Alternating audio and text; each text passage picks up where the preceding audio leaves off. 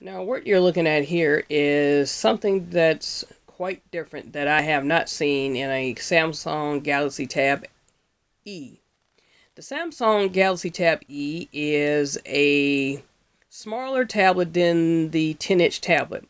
Now, this is available at Verizon Wireless and it is a, um, it's not on a contract, but when I got it, I paid I paid probably about 230 240 for it.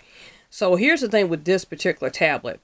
Um, with my mobile hotspot that I have, um, I have an AC791L mobile hotspot that's a postpaid, and I recently got a smartphone with them as well. So the person who sold me my mobile hotspot and this tablet here was very nice because he said um, my smartphone that that I have is prepaid, and this tablet and my mobile hotspot, which the which is the AC791L, is on a unlimited plan. That means all three devices are unlimited.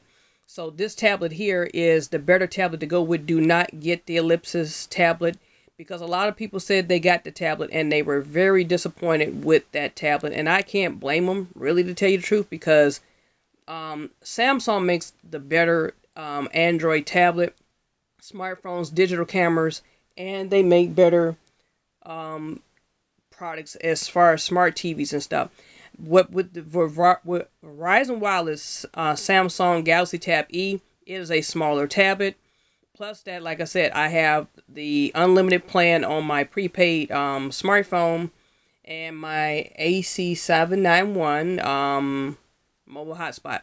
So this is the actual tablet that's in the box.